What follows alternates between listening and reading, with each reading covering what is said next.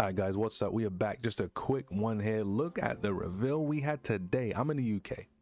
So this shit comes out like like four in the morning, five in the morning. This shit comes out when I'm like dead asleep in the night, man. They always drip market when I'm asleep. So I just seen this as I woke up this morning.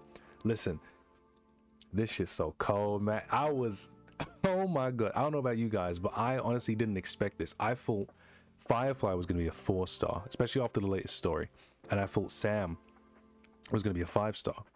But instead, it looks like they're fusing the two into a five star, and it just creates so many like how are they going to play right? The excitement here is how are they going to play? Like we all like firefly yeah she's like the most popular character from Penacony and there's a good reason for that there's a good reason for that but let's get into the character itself. She's fire destruction so we already know she's going to be losing hp right? If, if if anything from the boss fight is to go off she's going to be losing hp so she might have synergy with jingliu and blade most likely Blade because Stellaron Hunters, but I could see her having some synergy with Jingliu if she needs to lose her HP to do damage.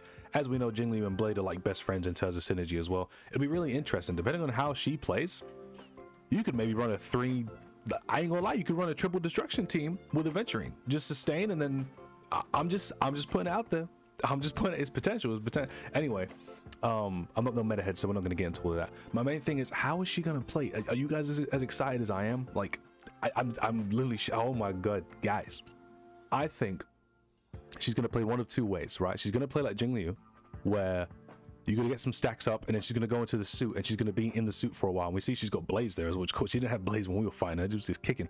But it looks like either that's going to happen, or she might do a thing where maybe she ults and then goes into the suit. But I don't think what they're going to do, because they know how big like and hype this is, and I don't think what they're going to do is make the part where you're Sam be like super short, right? I think it's going to be like Jingliu's state. I think it's going to be very similar to a Jingliu thing where for a while you're in the Sam state and then for a while you're in the Firefly state. And that's going to be really exciting to play. If it's not, if that's not how it is, whatever. So I'm not going to be looking at the leaks or anything. Just going to wait for the official, see how it goes.